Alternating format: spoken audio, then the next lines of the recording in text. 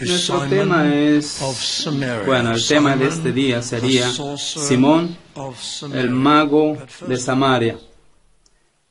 Simón, el mago de Samaria. Pero primeramente vamos a considerar la manera en la cual la persecución se esparció el Evangelio. Y eso es lo que hemos leído en este primer versículo. Saulo, dice, y Saulo consentía en su muerte en aquel día consentía la muerte de Esteban, eh, pues es una palabra refinada, consentir, la cual se, se traduce de, del griego, pero pierde un poco el sentido. Dice Saulo, dice la palabra griega, estaba muy complacido con la muerte de Esteban. Saulo estaba más que satisfecho, más que consentir, él estaba complacido con esto. La muerte era lo apropiado para Esteban en su punto de vista de Saulo. Esteban no debería vivir. Esteban era una amenaza. ¿Qué, qué, qué ajuste sería este para la ceremonia judía, la muerte de Esteban? Saulo, el fariseo, en esta en sus 30 años, la cual él estaba creciendo en su, enseñanza de fariseo, y ahora parece ser, eh, como dice la narrativa correctamente, especialmente, él era responsable de la persecución de aquellos que ayudaban a la enseñanza del Señor Jesucristo. Él era responsable, Saulo.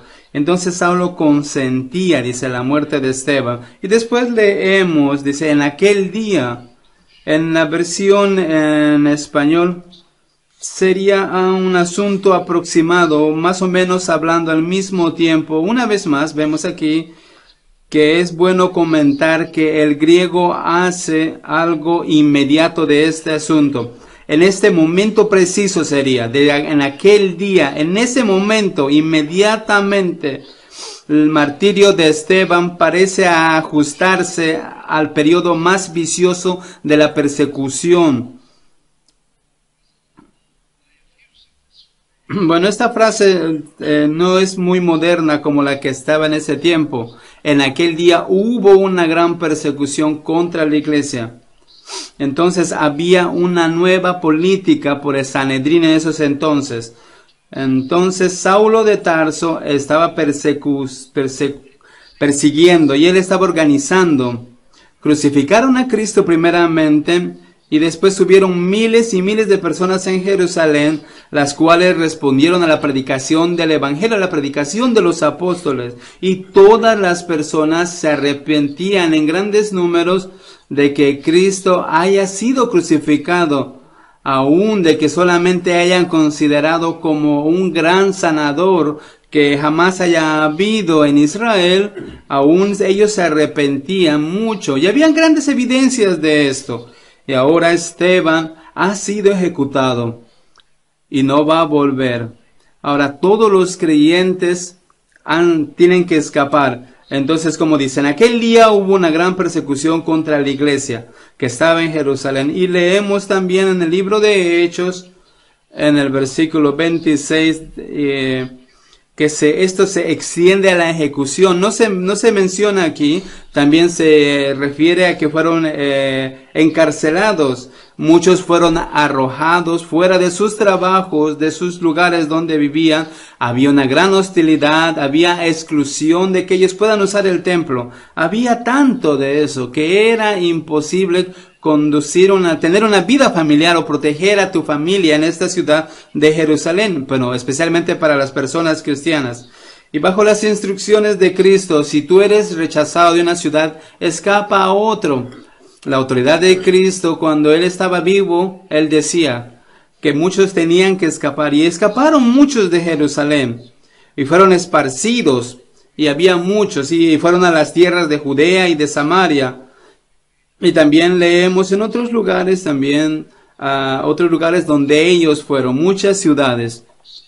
Pero, a excepción de los apóstoles, los apóstoles permanecieron en Jerusalén. Esto no significa que ellos estuvieron todo el tiempo. no leemos los versículos que todos los eh, las personas en Jerusalén eran cristianos en este tiempo. Treinta mil o cuarenta mil no. Significa que muchos, una gran mayoría eran cristianos los que tenían que escapar. Y algunos quedaron. Entonces los apóstoles se quedaron ahí en Jerusalén porque sabían que tenían que servir al Señor ahí. Y pues podemos ver lo que podemos eh, leer en, en Hechos 1.8. Dice, pero si percibiréis poder cuando haya venido sobre vosotros el Espíritu Santo, y me seréis testigos en Jerusalén, en toda Judea, en Samaria y hasta lo último de la tierra. Los apóstoles sabían que había mucha obra que hacer en Jerusalén, también tenían que considerar a Samaria y todo el mundo. Entonces, entonces vamos a leer cómo es que Felipe fue a una ciudad, a la ciudad de Samaria. Y cuando esta ciudad recibió la palabra de Dios a través del apóstol Pablo y Juan, ellos fueron. Y entonces, al final del capítulo 8 dice, el versículo 1 dice, a excepción de los apóstoles, ellos ellos permanecieron en Jerusalén y fueron a otras ciudades para fortalecer la predicación del Evangelio. Pero ellos estaban ahí, tenían la base en Jerusalén, no permanentemente, pero pues ellos estuvieron ahí. Y en el versículo 2 dice, y hombres piadosos llevaron a enterrar a Esteban e hicieron gran llanto sobre él. Antes de que prosigamos, es la iglesia primitiva está cayendo en la lamentación excesiva de los incrédulos que estaban a su alrededor o de ese mundo pagano. No, no significa eso. No tiene ninguna implicación con eso. La gran lamentación o el gran llanto o el funeral o el entierro de Esteban era un testimonio eh, había una gran persecución y entre medio de estos hombres devotos piadosos, hemos leído esto en el versículo 2, dice, hombres piadosos van a dar a Esteban un, un entierro dramático y público y tienen que guardar esto como un testimonio del martirio de Esteban. Lo amaban a Esteban y tienen que glorificar a Dios, pero quieren que la ciudad conozca lo que ha sucedido. Y a través de su entierro dice que habrá una gran apreciación por lo que Esteban hizo. Entonces es un acto piadoso, un, es, una, es un acto de desafío a las autoridades. Y a pesar de la hostilidad que había en contra de ellos, Esteban va a recibir un entierro notable y público. Y este es el sentido de este versículo número 2. Y en el versículo 3, y Saulo, el cual muy pronto será convertido, será uno de los oficiales, dice en el versículo 3, y Saulo asolaba la iglesia. Y esta es una declaración interesante, la cual puedes traducir como que él él devastaba a la iglesia o asaltaba a la iglesia, asolaba. Entonces no había nada que ver. Y dice, y, dice, y entrando casa por casa. Esto no significa literalmente cada casa, pero él organizaba organizaba grandes visitaciones a las casas y seguían a todos aquellos que él creía que eran creyentes. Dice, y arrastraba a hombres y a mujeres. Esta palabra arrastraba significaba como, como lo tenemos en, en, nuestro, en nuestra versión, los estiraba, los arrastraba, como tenemos la traducción. La persecución era extremadamente violenta. Y la gente no era tranquilamente arrestada, sino que ellas eran humillados, arrastrados fuera de sus casas. Tenía que haber una gran demostración y los llevaban a la cárcel. Pero ahí vemos después a Saulo cuando es convertido. Él recuerda cómo es que él llevaba a muerte a estas personas. Dice, y Saulo asolaba la iglesia, pero sus acciones, por el poder de Dios, lo llevó a un resultado diferente. Él creía que podía destruir la iglesia del Señor Jesucristo. Muchas personas fueron convertidas en esa ciudad. Dice, los arrastraba, dice. Entonces, a lo que ellos escapaban, la predicación iba a través de Judea y, y luego iría a Samaria. Versículo 4. Pero los que fueron esparcidos iban por todas partes anunciando el Evangelio. Y ahí pueden ver en este versículo algo que es preciado para nosotros y es, es el concepto de la iglesia que trabaja en conjunto. Tú no ves a los cristianos que fueron convertidos en Jerusalén como personas que solamente escuchaban en el día del Señor, solamente atendían. Algunas veces tú ves un, programa de la iglesia en alguna ciudad o en algún lugar y lo imprimen para ver qué es lo que van a hacer en las siguientes semanas o en los siguientes meses. ¿Y de qué se trata todo esto? Esas son solamente actividades sociales, un círculo, o clases, eh, esa clase de cosas y, no resulta en ganar almas, no hay visitación a la comunidad.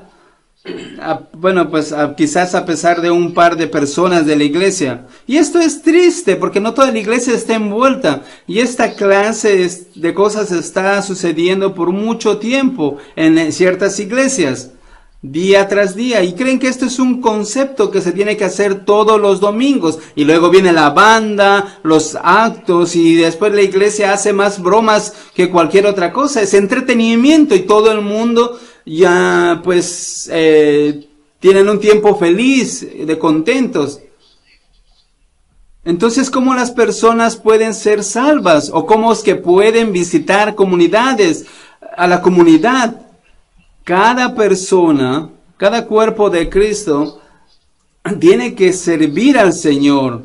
Tenemos que servir continuamente al Señor. Y, no vemos aquí en el tiempo de Jerusalén, dice, cuando ellos fueron esparcidos, decían esto, nosotros, Dios nos ha dado un propósito, decían ellos. Este no es el fin de nosotros, él nos va a guardar con vida, habrá un gran remanente y por el resto de nosotros, nosotros tenemos que ir y fundar iglesias en todo lado para proclamar a Cristo, para proclamar su nombre. Ese es nuestro llamado, ese es nuestro deber, ese es el propósito de haber sido llamados para conocerlo a Cristo, estar en su servicio, servir para Él. Entonces tú ves aquí en el versículo 4 el concepto de la iglesia que trabaja en conjunto, pero los que fueron esparcidos iban por todas partes anunciando el Evangelio.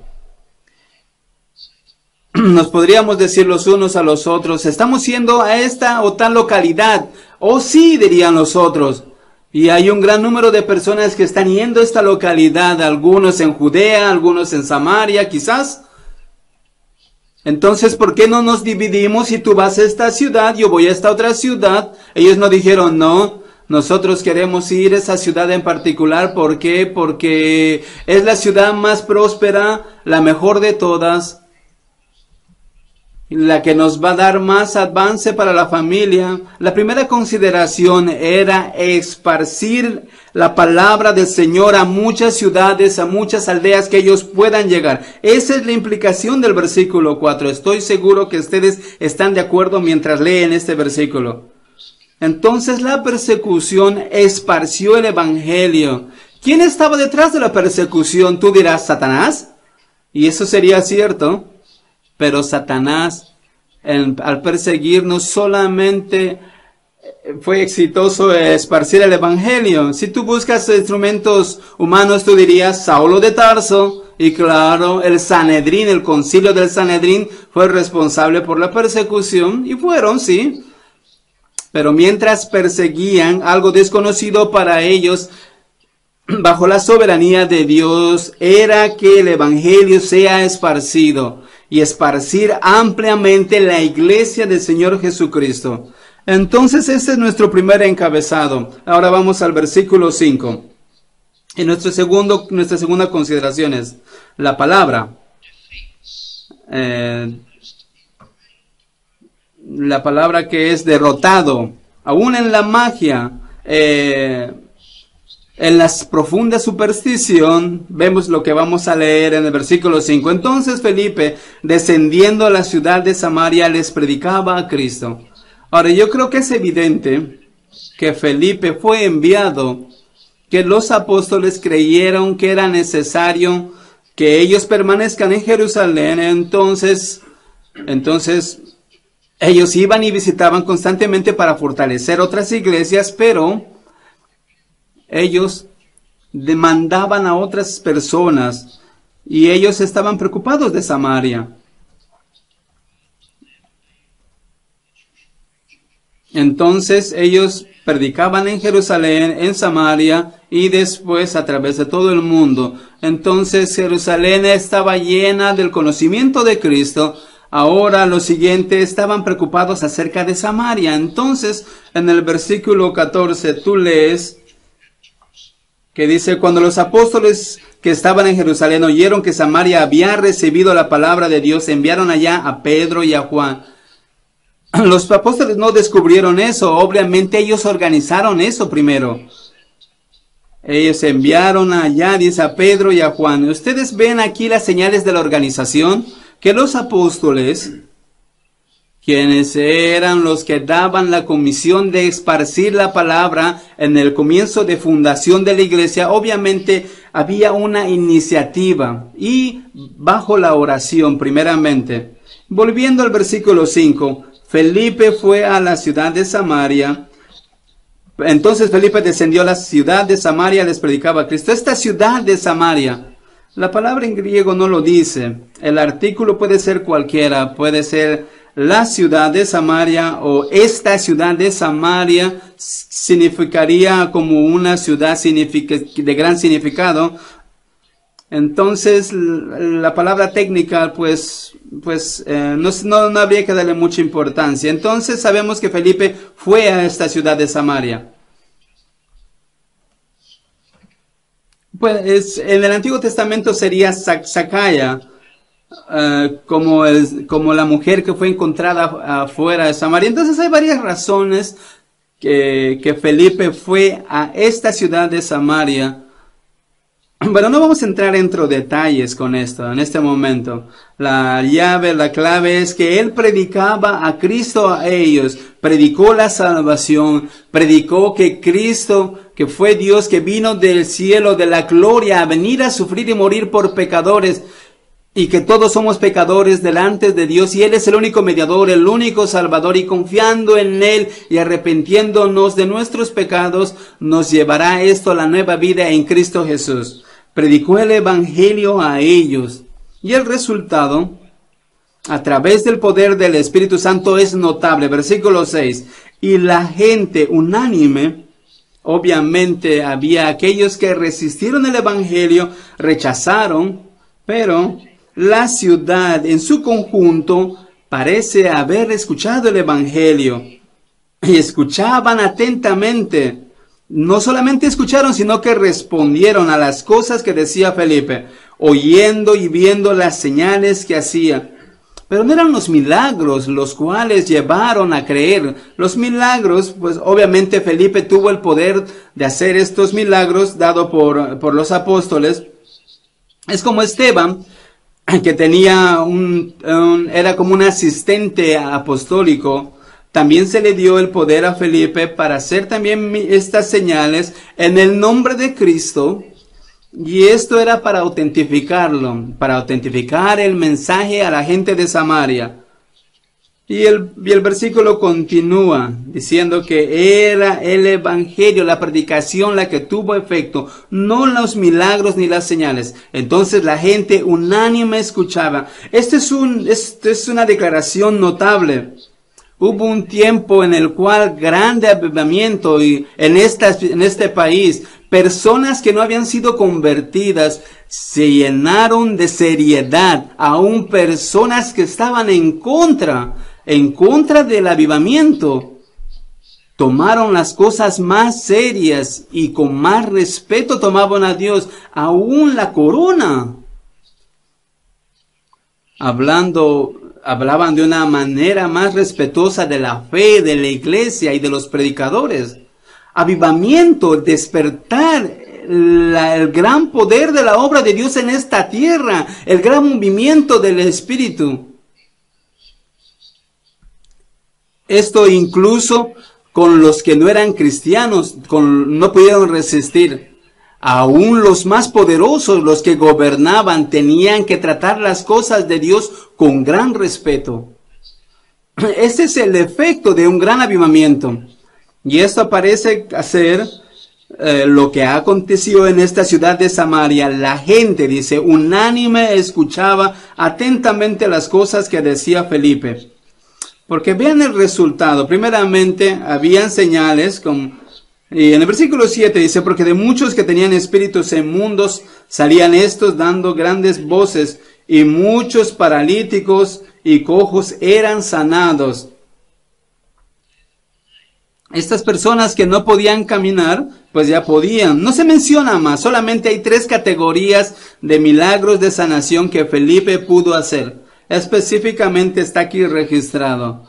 Entonces hay evidencia de personas que no era solamente un asunto de sanación, había milagros hechos por él, y esto era limitado y específico. Eran unas señales de autentificación de que Cristo había sido resucitado y que, de la, y que la doctrina era de Dios. En el versículo 8, así que había gran gozo en aquella ciudad. Bueno, leemos que cada clase de persona fue afectada. Ricos, pobres, personas educadas, no educadas, gobernadores, personas comunes.